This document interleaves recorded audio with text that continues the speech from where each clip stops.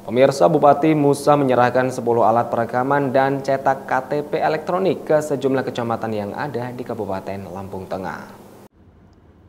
Penyerahan ini dilakukan di ruang BJW Nuwo Balak, Lampung Tengah. Penyerahan 10 unit mesin cetak e-KTP bertujuan untuk meningkatkan pelayanan dan mempermudah warga di desa terpencil dalam pembuatan KTP ataupun dokumen penting lainnya.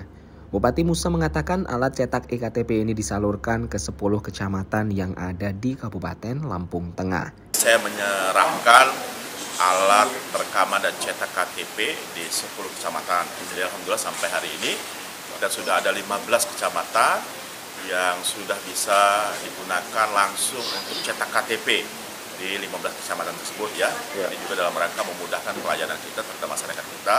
Mereka yang masalah kebutuhan, masyarakat kita untuk kita melayani masalah administrasi kependudukan yang ada di Lampung Tengah ini. Mudah-mudahan uh, sampai di tahun depan ini saya berharap sekitar 25 kecamatan itu sudah mendapatkan semua sehingga masyarakat kita tidak perlu jauh-jauh lagi ke kabupaten, mereka cukup ke kecamatan saja.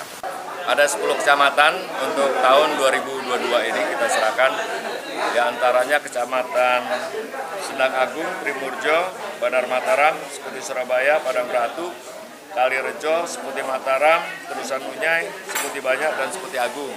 Berikutnya di tahun 2023 kita sudah anggarkan lagi 10 kecamatan. Total di 2023 kita punya 25 alat cetak di 25 kecamatan. Kadis Disduk Capil Genta Suri Muda mengatakan pembagian ini merupakan instruksi langsung Bupati Musa untuk memberikan pelayanan lebih dekat dan maksimal kepada masyarakat. Sebelumnya Pemkap telah mendistribusikan 5 buah alat rekam dan cetak.